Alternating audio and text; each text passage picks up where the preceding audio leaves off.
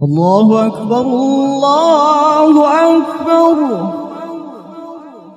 ফয়সাল হোসেন জানতে চেয়েছেন কোনো কিছু কুড়িয়ে পেলে করণীয় কি কুড়িয়ে পেলে যদি সেটা খুব হালকা পাতলা ছোটখাটো কোনো পাঁচ দশ টাকা হয় এমন জিনিস যেটা কেউ খুঁজে বেড়াবে না তাহলে সেটা তিনি চাইলে নিজে ভোগ করতে পারেন যদি গরিব হন তাহলে কাউকে দানও করে দিতে পারেন নিজেও খেতে পারেন অসুবিধা নেই আর যদি অনেক বেশি মূল্যবান কিছু হয় তাহলে সেটা অবশ্যই মালিককে খুঁজে তারপরে বের করে ফেরত দেওয়ার উদ্যোগ নিতে হবে সেটা যদি করা না যায় তাহলে সেক্ষেত্রে আহ, তিনি চেষ্টা করবেন যাতে কোনো গরিব বা অভাব মানুষকে দেওয়ার। আর তিনি নিজে যদি গরিব, অভাবী হন জাকাত খাওয়ার হকদার হন, অভাবী মানুষ হন, তাহলে সেক্ষেত্রে তিনি নিজেও তিনি ভোগ করতে পারবেন।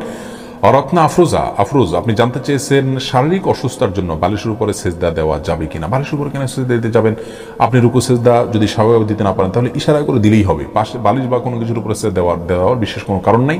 আপনি ভূমিতে, জমিনে, ফ্লোরে সেজদা যদি দেওয়ার মতো অবস্থা না থাকে, চোখের সমস্যা বা অন্য কোনো অসুবিধা অপারেশন ইত্যাদি হয়ে থাকে, তাহলে আপনি ইশারার রুকু করবেন আর ইশারায় সেজদা করবেন। যতটুকু সম্ভব সেজদা নিয়াতে উপর হবেন এবং সেটা সেজদা হিসাবে গণ্য হবে, ইনশাআল্লাহ তাহলে